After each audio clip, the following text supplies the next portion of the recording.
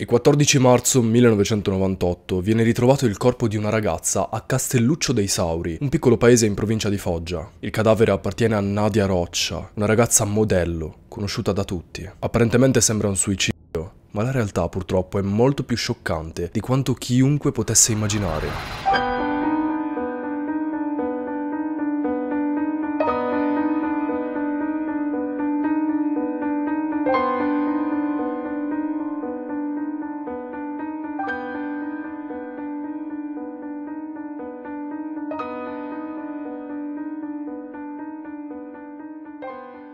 Amici miei, buonasera, sono Andrew e anche questo venerdì sono pronto a raccontarvi una storia da brividi. Se vi piacciono le cose oscure, macabre e misteriose siete nel posto giusto perché questo è tutto ciò di cui parliamo qui. E oggi, finalmente, a grandissima richiesta, e avete ragione, lo so, lasciamo i nostri tanto amati e odiati Stati Uniti per atterrare direttamente nella nostra bella Italia. Più precisamente in Puglia. Probabilmente tra di voi che mi state guardando c'è qualcuno che è della Puglia e sicuramente ha sentito parlare di questa orribile storia. Ma in generale, anche se non siete siete della Puglia, sono sicuro che molti di voi già hanno un'idea di ciò che sto per raccontarvi. In ogni caso si tratta di un caso appunto di cronaca nera italiana molto triste e anche inquietante, per cui mettetevi comodi e cominciamo.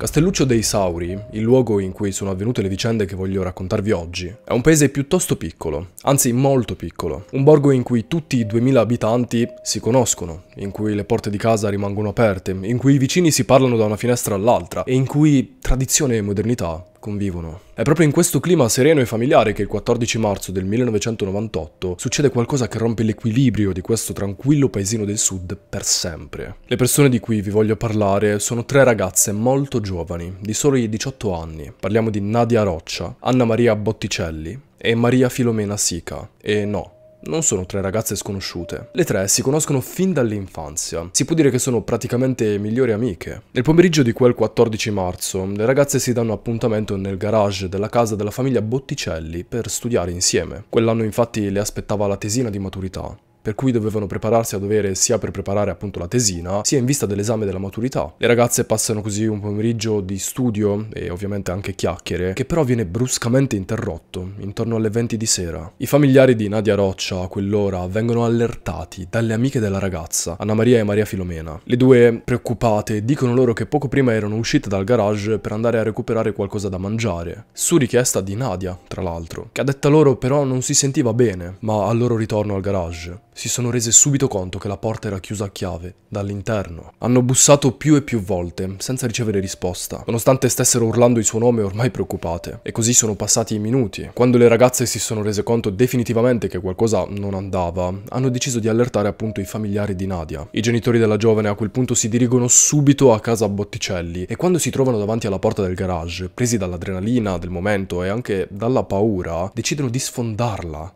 e entrare. Ma davanti a loro, a terra, giace il corpo senza vita di Nadia. È riversa sul pavimento e ha una corda stretta intorno al collo. La giovane viene subito portata in ospedale, ma all'arrivo al pronto soccorso per lei ormai non c'è più niente da fare. Essendo un paesino di 2000 abitanti, la notizia che la giovane Nadia Roccia si è suicidata nel garage del brigadiere Botticelli si diffonde a macchia d'olio. Il medico di guardia, all'arrivo di Nadia al pronto soccorso, afferma che la temperatura corporea della ragazza è molto bassa. Questo significa che lei in realtà era già morta da qualche ora, ma sul corpo non vede dei segni che potessero ricondurre a un ipotetico suicidio.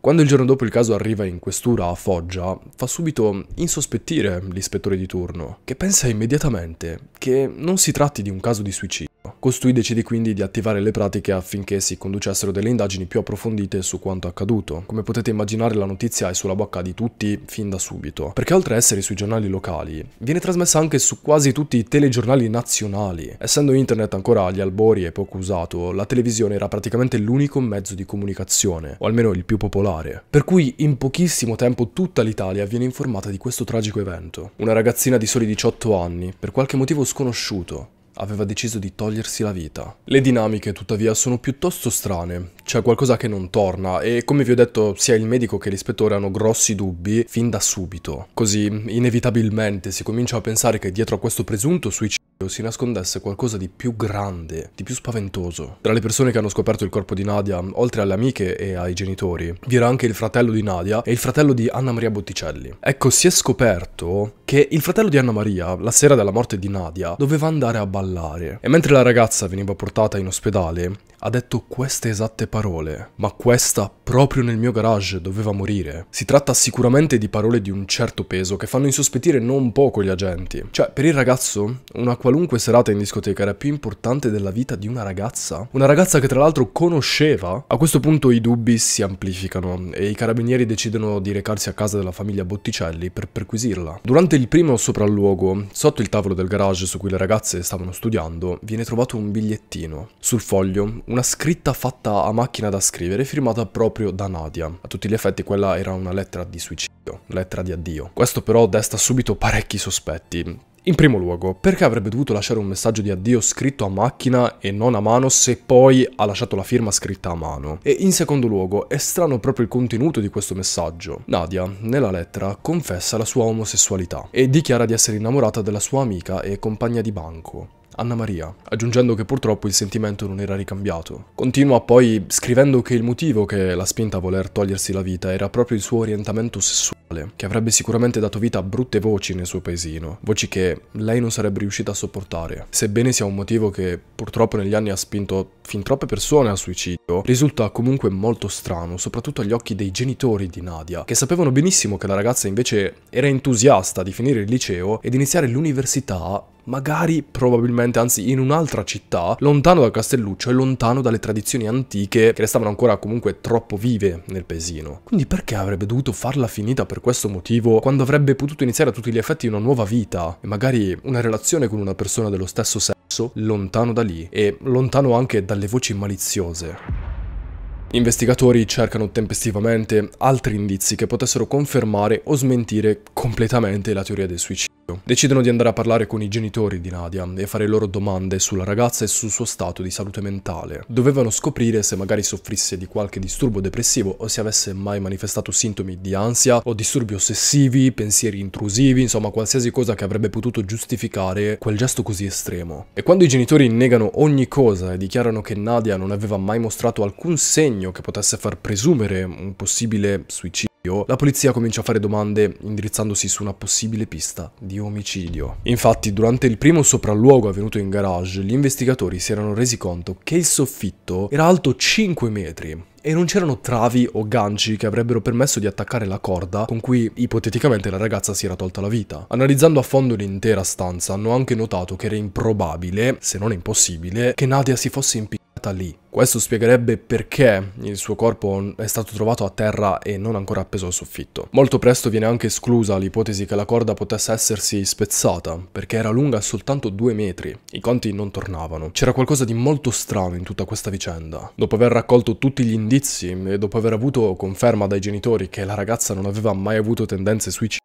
il pubblico ministero Alfredo Viola decide di avviare definitivamente le indagini per presunto omicidio. Viene così contattato il medico legale che ha effettuato l'autopsia sul corpo, Nicola Silvestri, che è anche docente di medicina legale all'università. Ecco, al medico legale viene chiesto di effettuare un esame esterno, quindi all'esterno del corpo, che è un esame importantissimo per determinare e anche esaminare le ferite esterni visibili. Nel caso di Nadia, la ragazza presentava delle ferite sulle labbra e alle guance, ferite procurate probabilmente da da altre mani o da un oggetto comunque sempre esterno. Insomma, ferite che comunque non possono assolutamente essere riconducibili a un suicidio in totale solitudine, almeno. Oltre a ciò, si è chiesto anche di ipotizzare l'ora del decesso, perché quando quella sera Nadia è arrivata al pronto soccorso, era subito stato constatato che la sua temperatura corporea era troppo bassa e che quindi era già morta da qualche ora. Tuttavia l'ora del decesso poteva solo essere ipotizzata proprio a grandi linee, il che sicuramente non ha aiutato le indagini. C'è però una cosa, un dettaglio molto importante che finalmente smentisce a tutti gli effetti l'ipotesi del suicidio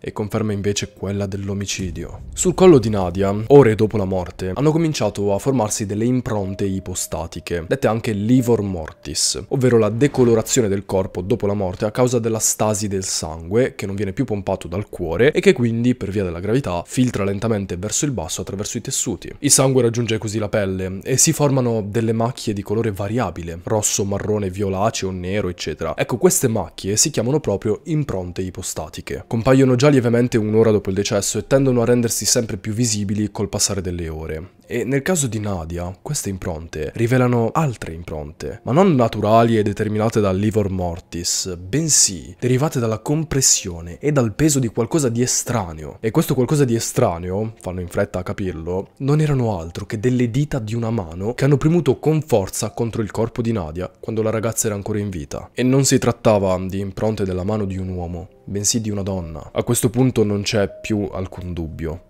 Nadia Roccia ha segni evidenti di un'aggressione. Nadia Roccia, a soli 18 anni, è stata uccisa. Vengono definitivamente avviate le indagini per omicidio e si decide ovviamente di partire dal principio. Vengono subito contattate Anna Maria e Maria Filomena, che sarebbero appunto le ultime persone ad aver visto Nadia in vita. In quel momento le due non sono indagate per omicidio e non sono sulla lista dei sospettati. Vengono semplicemente convocate dalla procura di Foggia per eh, alcune domande, per capire insomma come fossero andate effettivamente le cose quella sera. Ecco, le due in quell'occasione raccontano la stessa versione in sedi separate, ovvero che Nadia era arrivata a casa di Anna Maria intorno alle 16.45 per appunto studiare insieme. Durante il pomeriggio Nadia ha poi iniziato a lamentare un forte dolore alle gambe, dicendo di sentirsi poco bene. Ha chiesto quindi alle amiche a una certa ora di andare a comprare qualcosa da mangiare. Loro quindi sono poi uscite e l'hanno lasciata da sola. Al loro rientro la porta chiusa del garage e tutto quello che vi ho già raccontato. Le due ragazze sostengono fermamente la versione del suicidio. Tuttavia, si era già capito quando vengono sentite che questa ipotesi era troppo inverosimile. Gli investigatori cominciano quindi a chiedersi per quale motivo si fosse messo in scena un suicidio e soprattutto chi avesse interesse ad uccidere una persona come Nadia. A seguito degli interrogatori, le due vengono portate in un corridoio e lasciate sole per un po' di tempo. Aspettano che i carabinieri si allontanino e poi si abbracciano. A questo punto Maria Filomena dice una cosa. Dice queste parole. Speriamo che non si accorgano che è stata strangolata Anna Maria si allontana di scatto, guarda la sua amica negli occhi e le chiede se avesse detto qualcosa agli agenti. Maria Filomena scuote la testa. Le due si rimettono composte e attendono. I minuti passano. Per loro sembrano interminabili, ma nessun agente viene a richiamarle. Ad un certo punto Maria Filomena si alza e inizia a camminare nervosamente avanti e indietro per il corridoio. Poi si rivolge ad Anna Maria e le dice: Se hai detto qualcosa, ti mando in ospedale. L'amica però ripete che non ha detto assolutamente nulla agli agenti e la invita a rilassarsi. Durante quella conversazione tra le due, ad un certo punto fanno chiaramente riferimento a Lucifero, il che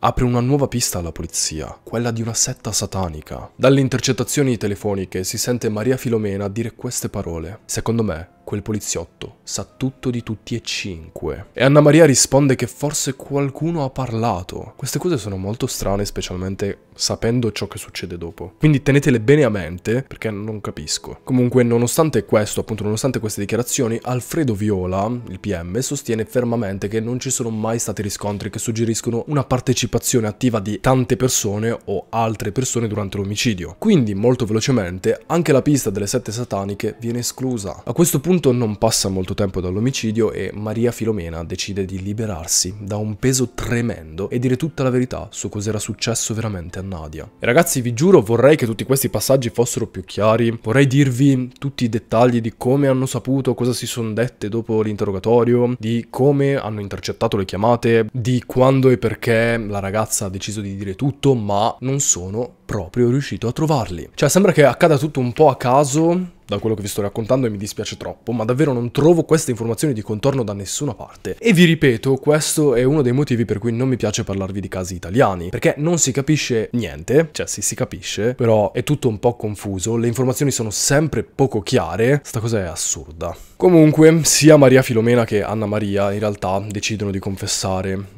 confessano entrambe, e dicono che le assassine di Nadia Roccia sono proprio loro, le sue due amiche del cuore. Le due ammettono di aver partecipato attivamente all'uccisione dell'amica, ma il movente che presentano alla polizia è senza senso. Provo al meglio delle mie possibilità a spiegarvi tutto quanto. Mi metto comodo perché vedrete che è proprio un casino. Le diciottenni dicono che il movente che le ha spinte a compiere il gesto è da ricollegarsi a dei sogni. A quanto pare l'atto di uccidere Nadia sarebbe stato ordinario ordinato dal padre defunto di Maria Filomena, apparso in sogno più volte ad Anna Maria. In realtà le due confessano quasi subito l'omicidio. Quello che rimane un mistero è il reale movente. Anna Maria da tempo parlava spesso di un sogno in cui c'era come protagonista il padre di Filomena, scomparso quando lei era piccola. A quanto pare in questo sogno lui le ordinava di uccidere Nadia. Ora, a me questa situazione sembra un po' strana, anzi molto strana, cioè perché cavolo Anna Maria avrebbe dovuto sognare il papà defunto della sua migliore amica che le diceva queste cose? E com'è possibile che Maria Filomena abbia creduto veramente a questa storia del sogno? Per rispondere, o almeno provare a rispondere a queste domande e per rendere più chiare le dinamiche, è importante aggiungere qualcosa su tutte e tre le ragazze. Fino ad ora non ci siamo soffermati sulla vita e sul carattere di queste persone, ma arrivati a questo punto penso sia importante, anzi fondamentale, dare un profilo sia a loro due, sia alla particolarità che avvolge la loro amicizia proprio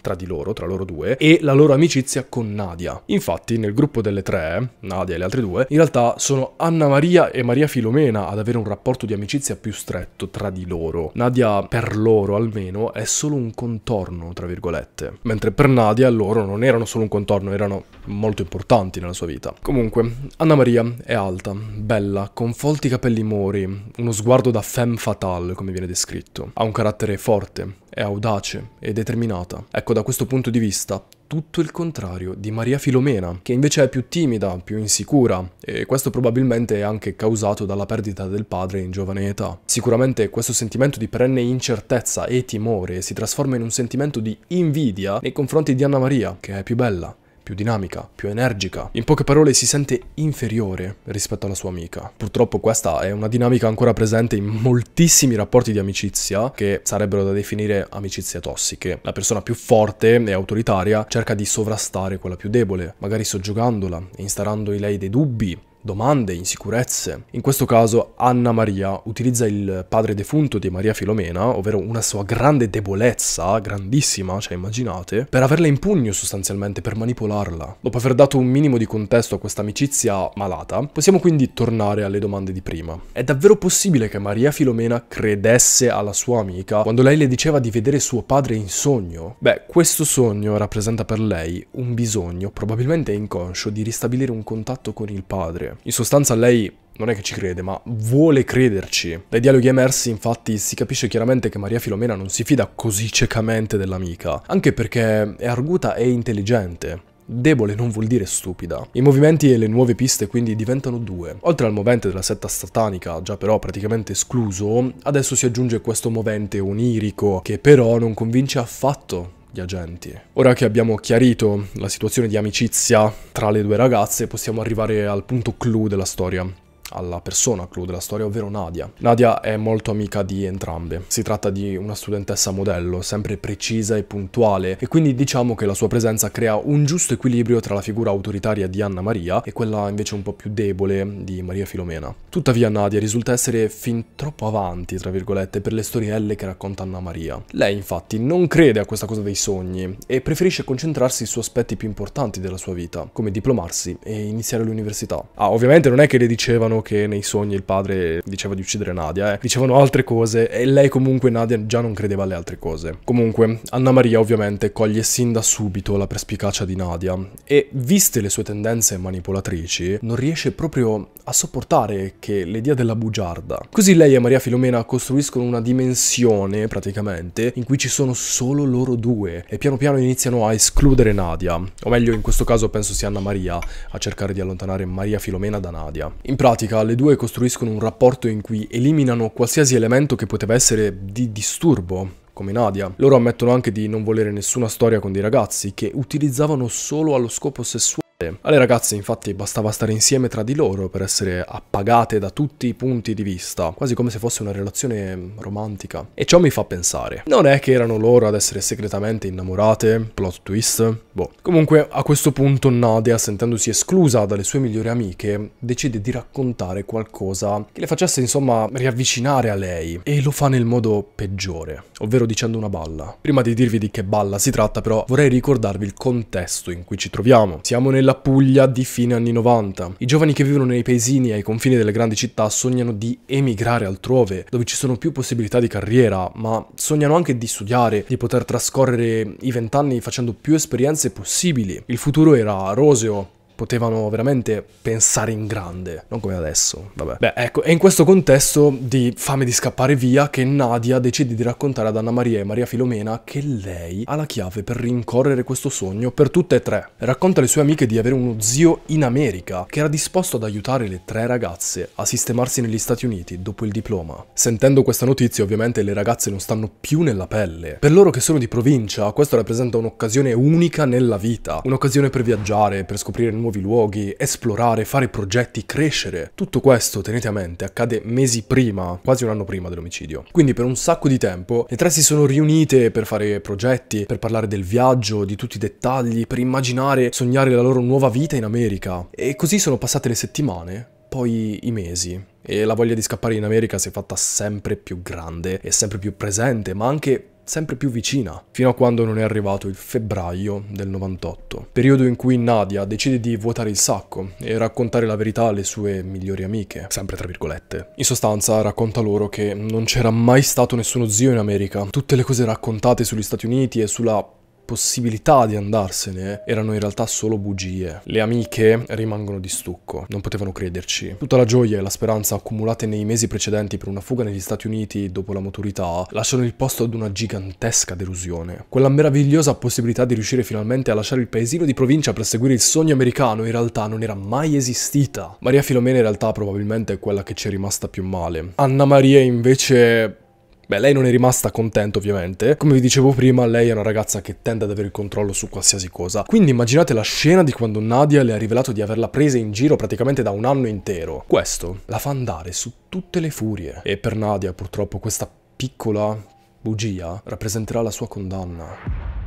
Anna Maria e Maria Filomena quindi sono deluse, arrabbiate. La loro migliore amica, anche se non la vedevano come tale, le aveva prese in giro per mesi, aveva fatto credere loro che c'era una remota possibilità di lasciare la Puglia, inseguire i propri sogni, realizzarsi lontani da lì, di imparare una nuova lingua e chissà magari di stabilirsi definitivamente dall'altra parte del mondo. A questo punto decidono ufficialmente di fargliela pagare. Iniziano a spargere la voce a scuola che Nadia fosse omosessuale. In questo caso dobbiamo entrare nella mentalità di quei tempi. Come sempre vi ricordo che ci troviamo troviamo nel 98 in un piccolo paesino della Puglia. Quindi termini come gay o lesbica erano ancora veramente un grandissimo tabù e probabilmente rappresentava una vergogna per la persona accusata di esserlo. Le ragazze però capiscono in fretta che la loro sete di vendetta era troppa. Non bastava mettere in giro tutte quelle brutte voci su Nadia, brutte per via sempre del contesto, eh. Bisogna, secondo loro, fargliela pagare ancora di più. E così, piano piano, giorno dopo giorno, iniziano a premeditare il suo omicidio. Come prima cosa decidono di metterle del veleno per topi nella Coca-Cola, il che mi ricorda spaventosamente il caso di cui vi ho parlato qualche settimana fa.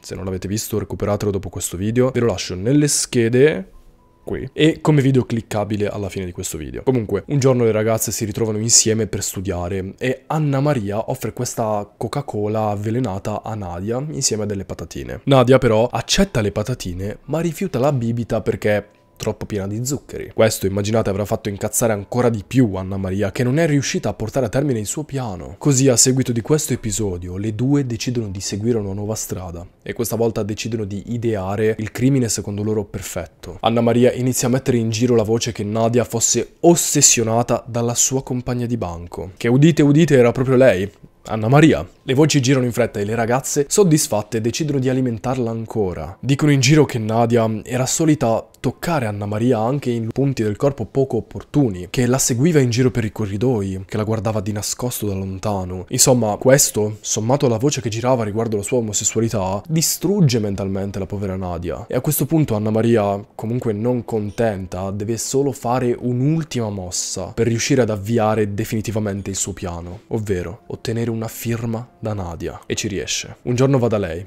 e le chiede di farle una firma in fondo a un foglio bianco, dicendole che l'avrebbe fatta esaminare da un grafologo. Parecchio strano direi, ma Nadia si fidava. Sicuramente non avrebbe mai neanche lontanamente immaginato che cosa aveva davvero in mente la sua amica. E infatti le ragazze scrivono una lettera d'addio, facendo finta di essere Nadia, in cui costruiscono un buon alibi per loro due e in sostanza chiedono ai familiari di Nadia, ai genitori di Nadia, di dare loro i soldi per fare il viaggio negli Stati Uniti che l'amica gli aveva promesso. In sostanza una lettera d'addio che hanno scritto sul foglio firmato in precedenza dalla vittima e in cui c'erano scritte veramente delle cose non tanto sensate, appunto per quello sono nati tutti quei dubbi, anche per quello. Anna Maria comunque quel giorno, il giorno in cui è riuscita a far firmare il foglio a Nadia, Esce da scuola con il sorriso, è contenta, tutto è pronto, il suo piano malato può cominciare per davvero. Quindi arriva quel famoso pomeriggio del 14 marzo. Anna Maria chiama Nadia e la invita a studiare nel suo garage, perché la tesina di maturità era alle porte le ragazze dovevano avere un luogo in cui riuscire a studiare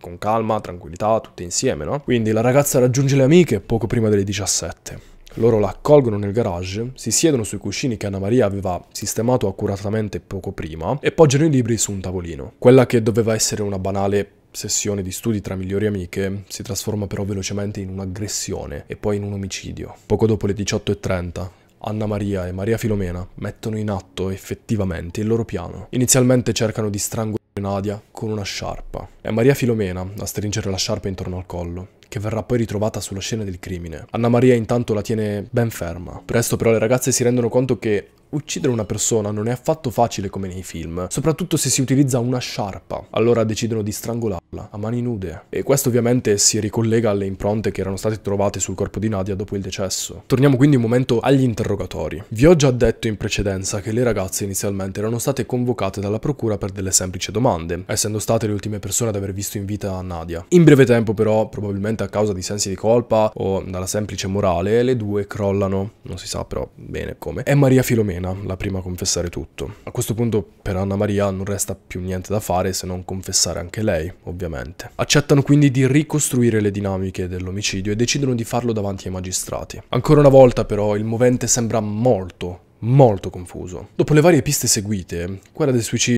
e il motivo onirico, ora le ragazze svelano un nuovo movente, ovvero la bugia raccontata da Nadia riguardo lo zio in America. Questo però, anzi nemmeno questo, convince i magistrati, che ritengono sia un movente abbastanza scadente per uccidere qualcuno soprattutto l'amica di una vita. Dunque, le ragazze vengono interrogate separatamente. Anna Maria dice agli inquirenti che inizialmente il padre di Maria Filomena le aveva comunicato in sogno di uccidere sua figlia, Maria Filomena, in modo da ricongiungerla a lui. Poi si sarebbe spostato su Nadia e le avrebbe detto che uccidendola le avrebbe garantito un posto in paradiso. A questo punto i magistrati iniziano a pensare che Anna Maria soffrisse di qualche disturbo mentale ed entrambe le ragazze vengono sottoposte quindi ad una perizia psichiatrica. Tuttavia, vengono considerate tutte e due in grado di intendere e di volere al momento dell'omicidio. Le due, nonostante tutto, riusciranno comunque a prendere il diploma e verranno condannate solamente nel febbraio del 1999. E non potete immaginare qual è stata la loro condanna.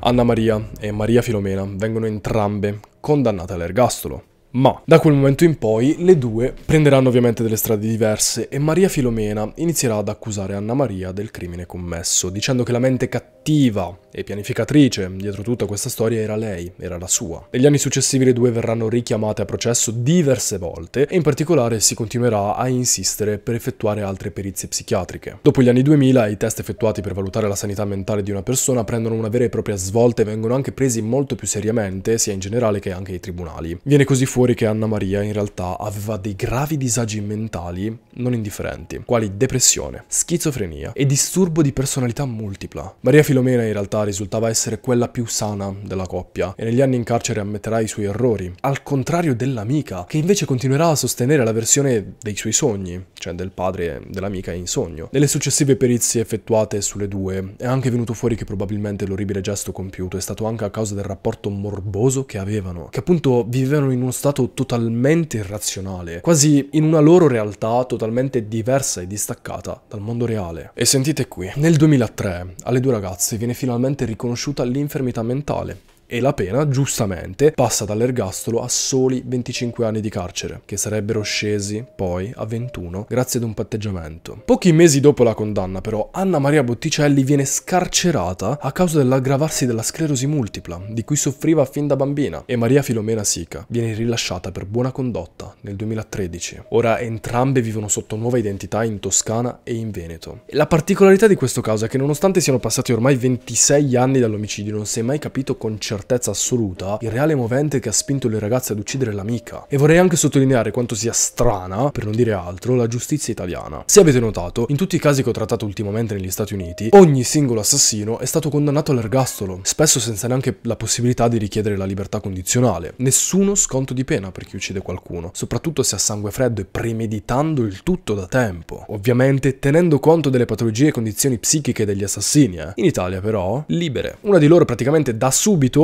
per via di una patologia. E boh, non ho capito i dettagli, anche qui i dettagli non si conoscono, cioè rilasciata nel senso che è libera e mm, prende solo le cure per la patologia, cioè non si capisce. E l'altra rilasciata in anticipo, in largo anticipo, per buona condotta. Cioè siamo sicuri che persone del genere possano stare in libertà in giro per il nostro paese, specialmente se penso ad Anna Maria, con tutti i disturbi che le hanno diagnosticato. Io spero vivamente che le siano state somministrate le dovute cure, anche se dubito. E questa cosa Ragazzi, fa paura. Io sono assolutamente d'accordo su una riduzione della pena qualora si scopra appunto di disturbi mentali, ma l'imputato deve essere seguito e controllato a dovere durante gli anni di carcere e dopo, soprattutto dopo, e sicuramente non dovrebbe essere fatto uscire per buona condotta, secondo me. Cioè, no. Quindi, Nadia, secondo voi, una ragazzina di 18 anni che la cui unica colpa è stata dire una bugia, ha ricevuto giustizia? D'accordo che niente avrebbe potuto darle giustizia, ma così sembra quasi una presa in giro, cavolo. Vabbè, la smetto, se no qua iniziano le parolacce. Vabbè, voi come la pensate riguardo questo argomento? Io sicuramente non sono esperto, non ho studiato diritto penale, non conosco le norme del nostro paese, ammetto assolutamente la mia ignoranza, ma proprio da un punto di vista etico e morale, le pene le condanne, le riabilitazioni non dovrebbero essere più lunghe, più curate, più adeguate a conseguenza di azioni almeno come l'omicidio premeditato. Cioè, fatemi sapere cosa ne pensate voi, specialmente se siete più ferrati in materia, se avete studiato. Spiegatemi davvero spiegatemelo, perché si può incorrere a queste sanzioni così, un po' addolcite, passatemi il termine, non saprei come definirle. Io penso che in questo caso non ci sia stata una reale giustizia. E Nadia, che quel giorno usciva di casa con la spensieratezza che aveva di solito, non ha mai fatto ritorno a casa. E per cosa? Per cattiveria? Per dei disturbi mentali? E ok, l'ultima avrebbe più senso, ma bisognerebbe anche agire sotto questo punto di vista, prevenire e in casi come questo curare, trattare, tenere sotto controllo, non liberare, via. Vabbè. Non ho altre parole, ditemi voi cosa ne pensate. Intanto a voi pochissimi, che rimanete fino a qui, anticipo che presto vi parlerò di alcune storie di persone sopravvissute all'incredibile. Ve l'avevo già accennato qualche settimana fa, ma ora ho finalmente cominciato a lavorarci sul serio e sarà spettacolare perché vi farà capire quanto in realtà può essere forte e resiliente l'essere umano. Spero quindi che rimarrete nei paraggi, per cui se vi ho incuriositi ricordate di massacrare il pulsante iscriviti. E adesso parlo con te. Sì, proprio con te. Se ancora non ti sei stancato di sentirmi parlare, ti consiglio questa storia da brividi, che è quella di cui vi ho accennato prima, quella della Coca-Cola, quando ho parlato della Coca-Cola, e oppure questa playlist in cui ho raccolto tutte le storie che mi hanno colpito più nel profondo. Vi ricordo infine di seguirmi anche su Instagram se volete farvi i cazzi miei, e niente vi ringrazio e vi do appuntamento al prossimo venerdì con un altro file. Ciao!